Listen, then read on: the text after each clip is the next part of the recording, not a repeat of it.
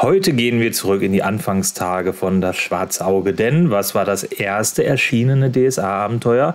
Na klar, im Wirtshaus zum Schwarzen Keiler, jener legendären Kaschemmin, der uns Graf Grotto Greifax in den Keller gesperrt hat. Und wer dort noch mal einmal vorbeischauen möchte oder ein Erinnerungsstück an jenen legendären ersten Ausflug nach Aventurien haben möchte, dem sei dieses 3D-Modell hier empfohlen. Also wenn ihr einen 3D-Drucker besitzt, dann ist es vielleicht eine gute Idee, dass dieses schöne Stück hier bald schon auf eurem Drucker ausgedruckt wird, um bei euch im Regal oder sonst wo zu stehen. Ähm, das Modell habe ich auf Basis des, ähm, der Originalillustration von äh, Brian Talbot aus dem ersten Abenteuer gemacht. Da sieht man nämlich hier diesen Ausschnitt des Eingangsbereiches. Und die eigentliche Grundrisspläne des Gebäudes kann man dem Abenteuer Rückkehr zum Schwarzen Keiler entnehmen von Tom Finn.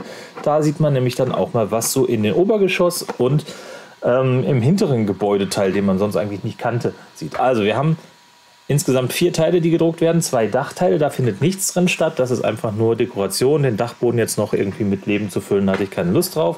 Stattdessen haben wir einen sehr detailliertes äh, Obergeschoss mit Betten und äh, Treppe und Türen und hast du nicht gesehen? Also da ist alles drin, was man auf dem Abenteuerplan auch so sieht. Und hier natürlich der Schankraum, der legendäre mit dem schwarzen Keiler über der Tür. Ähm, ja, da könnt ihr euch vorstellen, dass ihr da sitzt, während die Tür auffliegt und der böse Graf hereinkommt. Ähm, Küche und so weiter ist natürlich auch alles vorhanden die Schlafräume der Wirtsleute. Also all dieses könnt ihr euch selbst ausdrucken, wenn ihr einen 3D-Drucker habt. Ich habe das Modell ja schon mal in der Schelmschau vorgestellt. Jetzt könnt ihr euch das auch selbst ausdrucken. Ich habe die STL-Dateien in ähm, im Skriptorium Aventuris abgelegt und da könnt ihr sie ab jetzt unter dem unten angegebenen Link herunterladen und ausdrucken. Ähm, ja, ich hoffe, das klappt bei euch. Wenn ihr Fragen dazu habt, schreibt mir bitte gerne. Morgen geht es weiter. Bis dann. Ciao.